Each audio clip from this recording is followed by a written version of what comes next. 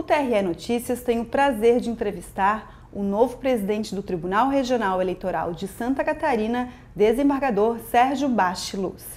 Bom, desembargador, o senhor assumiu a presidência do tribunal no dia 5 de fevereiro e desde então muita coisa já andou acontecendo, né? Uma delas é a reestruturação do, do tribunal, é isso?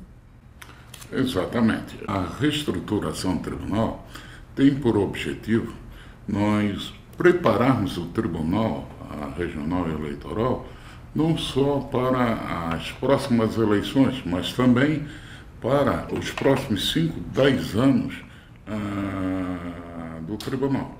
O que nós queremos é isso dar maior visão, maior planejamento, maior transparência e maior integração nas atividades do próprio tribunal. Tá certo. Outro projeto que vai iniciar né, uma retomada é a da biometria. Exatamente, pelo seguinte, a biometria, ela agora com a nova orientação emanada pelo Tribunal Superior Eleitoral, nós vamos atingir diversas zonas eleitorais de Santa Catarina, começando por Joinville, Gaspar, Blumenau, Indaial, Balneário Camboriú, Itajaí, Itapema. Vamos encerrar a biometria na Grande Florianópolis e já partirmos em direção ao sul do estado. A biometria ela vai iniciar de forma voluntária, né? Que as pessoas vão ao cartório. É, exatamente, vai ser de forma voluntária, ah, mas vamos fazer um intenso programa de divulgação ah, peço para a população ah, a comparecer, não deixar para as vésperas da eleição, evitarmos acúmulos, ah, e principalmente, já que não é de forma coercitiva, nós pedimos e conclamamos ao eleitorado destas zonas eleitorais que compareçam, prestigiem a Justiça Eleitoral de Santa Catarina. Tá certo. Outro projeto que também será uma novidade é a Extranet. Explica para gente o que é esse projeto. A Extranet é uma ferramenta que o Tribunal Regional Eleitoral já vai fazer junto com o Tribunal de Justiça de Santa Catarina, oportunizando aos juízes eleitorais o uso dessa ferramenta para manter contato não só com o Tribunal Regional Eleitoral, mas também com os próprios cartórios e funcionários ah, das zonas eleitorais. Quero dizer que os primeiros contatos já foram mantidos e recebemos o total apoio do presidente do Egrégio Tribunal de Justiça, desembargador Nelson Schaeffer Martins. E existe uma previsão para que esse, essa extranet já Olha, entre de todos os projetos enumerados pela, por ocasião da minha posse, acredito que esse será o primeiro a ser alcançado. Né? Já nos próximos ah, dois meses nós estaremos com a extranet funcionando. Tá certo. Basta a assinatura de um convênio com o Tribunal de Justiça de Santa Catarina. Existe também a possibilidade de reestruturação da escola judiciária aqui do tribunal é uma outra ferramenta que estava adormecida. Eu noto que os juízes eleitorais, no, em anos fora do período ah, eleitoral, nós temos uma massa crítica de juízes que eles ficam assim ah, praticamente inertes em função daquelas atividades comuns ah, inerentes a um cartório eleitoral. Nós queremos chamar o juiz eleitoral para dentro do Tribunal Regional Eleitoral de Santa Catarina para ele repensar a justiça eleitoral, o processo eleitoral, melhorarmos a, a atividade a, judicante em termos de justiça eleitoral. Quero dizer que a, a própria escola ela vai ser reestruturada em dois grandes braços, dois grandes, duas grandes vice-presidências, aquela direcionadas aos magistrados e outra para capacitação e treinamento de funcionários.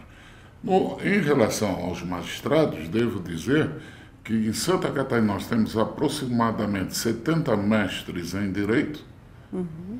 e 12 uh, juízes ah, com o título de doutor. Eu quero trazer esta, este juízo para nós formarmos o corpo docente da academia e nós partirmos para o interior do Estado, objetivando reuniões ah, com os juízes eleitorais, onde serão oferecidas palestras, treinamentos, não só na parte teórica, como também a prática, visando as eleições de 2016 e também repensarmos em darmos início a um repensar da justiça eleitoral em Santa Catarina. E com relação ao Conselho de Gestão Estratégica e de Integração, é, tem novidades para esse ano? Temos. Ah, o, eu entendo que o Conselho deve ser um órgão pensante. O Conselho não pode ser um órgão que só sirva para aprovação de metas a curto prazo. Por isso que eu entendo que a, os seus integrantes que formam a, a alta direção do Tribunal Regional Eleitoral de Santa Catarina, ele deve começar agora também não só discutir os problemas imediatos, mas também aqueles futuros problemas, oferecendo já sugestões para 5, 6, 7, 10 anos, para nós termos já uma visão global do que poderá ser a justiça eleitoral em Santa Catarina. E, nesse sentido, eu prefiro uh, dividir o Conselho de Gestão em subcomissões, em matérias específicas, e somente levar a plenário aquelas matérias que, que tenham o, finalidade de uma a, a aprovação geral com repercussão